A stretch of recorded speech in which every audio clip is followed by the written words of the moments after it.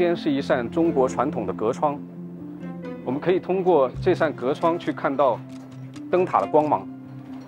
所以我希望通过这件作品来表现人和自然之间的一种关系，同时也跟香港本地的一些建筑相关。灯塔代表着是一种彼岸以及人去征服自然、去探索自然的一种理想。那么，同时灯塔也是在人工和自然，在人人的城市、人所居住的城市和自然界之间的一个一个间隔，以及在航海过程当中的一种对距离的一种尺度。